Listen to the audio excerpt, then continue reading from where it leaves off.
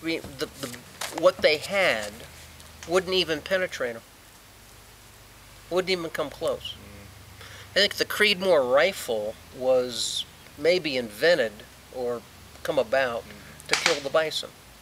There were bison killing uh, rifles, mm-hmm. unfortunately. Mm-hmm. And they did a, unfortunately, a magnificent job from long range.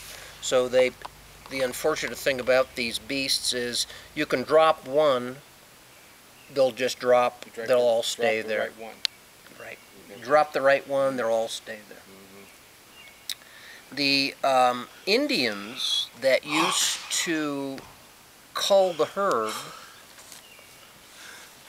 would have to, before the rifle, and imagine this, on your pony,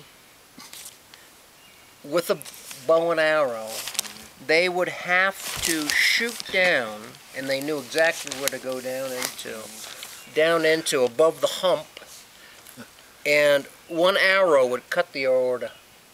The big bull would drop, the whole herd would stop.